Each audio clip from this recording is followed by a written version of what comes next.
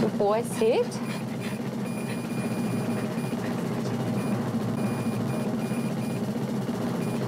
Ten point six.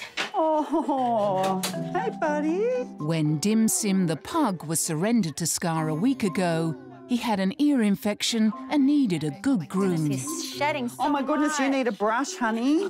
But he certainly had not been going hungry and weighed in at a cuddly 11 kilos. Oh, you're a little roly poly.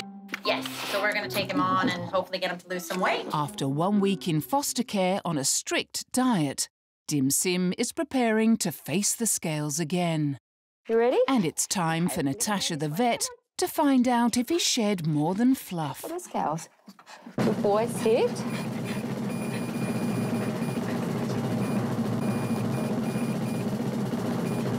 Ten point six. That's amazing.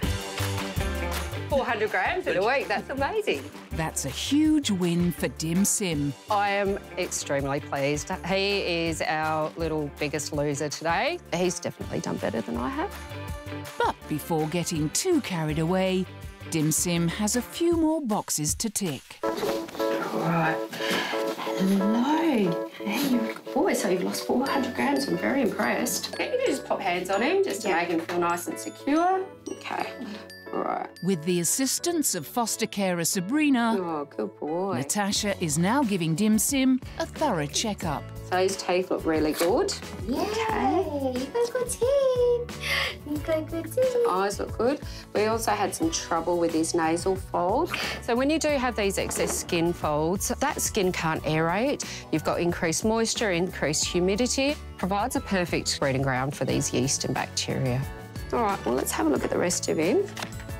Pugs' shortened noses and small windpipes also commonly restrict their airways, causing them to wheeze and pant loudly when stressed. I literally cannot hear anything today.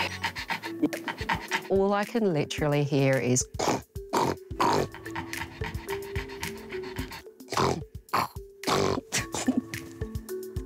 Trying to listen to Dim Sim's heart is a walk in the park compared to examining his ears. All right, so I'll get you to put a pretty good grip on him. Okay. All right. All right. Might get Caitlin in here to actually hold him for us. Is that all right? Yeah, cool. All right. Full of character, full of personality, but pugs can be quite belligerent actually when you have to do anything with them. And he's also a master of diversion.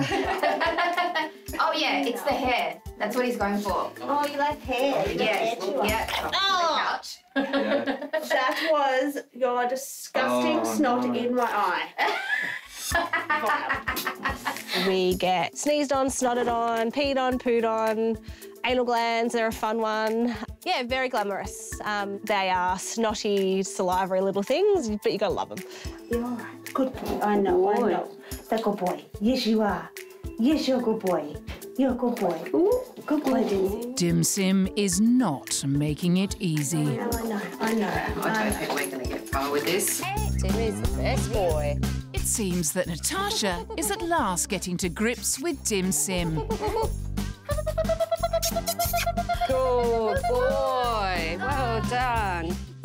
Really, really tricky to get to his nasal folds and get a diagnosis and give them a bit of a clean. But to be honest, who actually likes having their face touched? And Caitlin's quiet tenacity has been rewarded. Such a good boy. That's a boy. Good boy. Such a good boy. With some dogs, obviously being up high can be a little bit scary for them. Doing it at their level on the floor sometimes can be a lot less stressful for the dog.